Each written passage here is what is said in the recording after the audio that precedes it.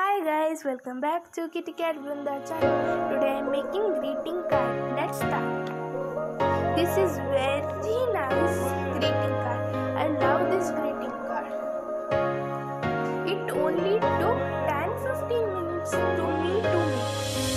If you understand this card,